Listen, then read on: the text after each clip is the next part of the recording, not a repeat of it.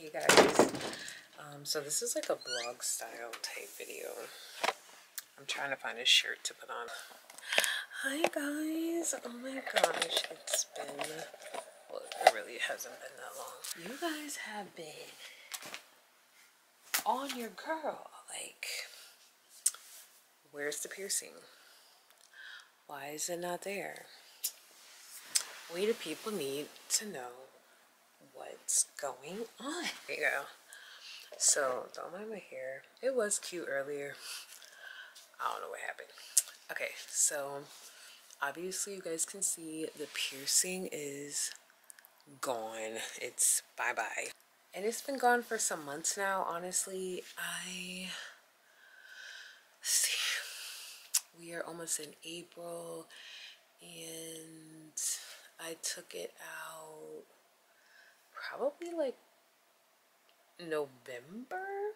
You guys have probably seen the video where I talked about me getting the piercing, which was almost a year ago. And it's called a surface tragus piercing. And basically, because I had the dermal, so I will tag all these videos in the card. So if you guys want to just like revert back and just kind of get more of a backstory. But I had just a dermal. Either twice or three times I had that done. And then it just, my body kept rejecting it. So I was just like, okay, let me just go ahead and do the surface tragus, which is just a bar. It's just a bar and then it has like, like a, it has a closure here and a closure here, which is the two dots. I'm sure the people who are watching already know what a surface tragus is because you clicked on this to see about the rejection and all that. So yeah, it was doing really, really well for months. Like, no problems. I felt like the healing was beautifully well until in very end of October. I noticed like around my birthday, which is at the end of October, it was just really starting to hurt and like really starting to like ooze. I know, I'm sorry, but that's just what happened. It would ooze. I would have to clean it with the Q-tip all the time, like all the time. At night, I'd put a band-aid on it because it just was so red and so irritated. It was just horrible. Then I started like looking at it in the mirror. Like I'd wake up in the morning, I was getting ready for work, and I would literally look and it almost looked like I, I don't know, like I thought my skin looked really yellow and I just was like, what the hell? Like, what is that? Like, is that pus in there? But no, girl, it wasn't. Like, it wasn't yellow.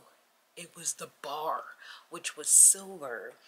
My body was literally pushing it out to the point where it was stretching my skin. It was like literally like one layer of skin and then you could see the bar.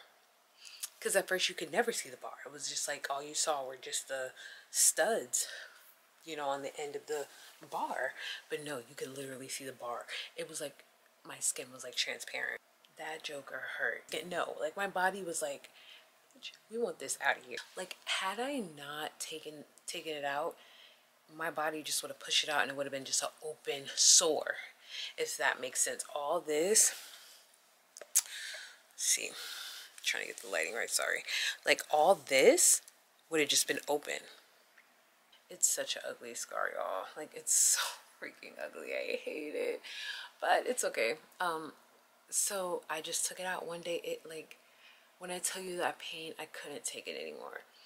So I showered and I took it out. And when I tell, and it was like really swollen too. Like even though you, like my skin was like transparent, it was really swollen. I ended up taking it out. The second I took it out, it was like instant relief. I can't even get mad at my body because like you're that's what your body's supposed to do and it sees like a, a foreign object. It is supposed to push it out. You know what I mean? So my body was doing its job, which means essentially your body is it's that's that's healthy. You know what I mean? Like your body should know foreign objects and stuff like that. So I can't even be mad at my body. But um, I know some of you in the comments are going to be like, are you going to get it again? I'm a little hard-headed. I might.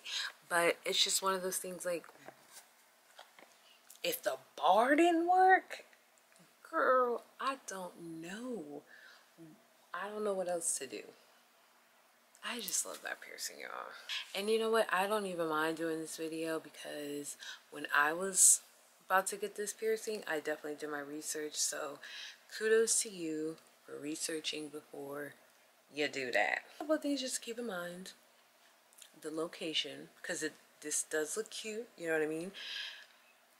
If you work like in a very like professional setting, maybe have it a little bit lower, you know what I mean?